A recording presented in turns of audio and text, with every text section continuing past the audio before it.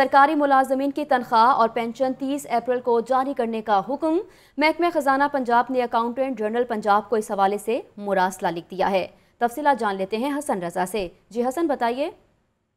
महकमा खजाना पंजाब ने सरकारी मुलाजमीन की तनख्वाह और पेंशन तीस अप्रैल को जारी करने के अहकाम जारी कर दिए हैं।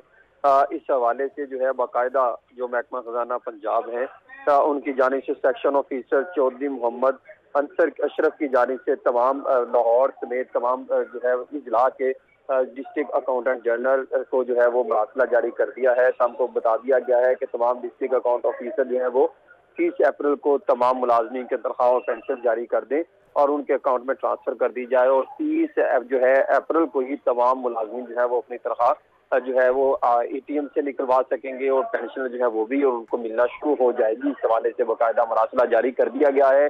ये फैसला किया गया था कि कोरोना जब का मामला जब तक चलेगा, वो पहले ही तनख्वाह जारी कर दी जाएगी, दो या दो तीन दिन पहले।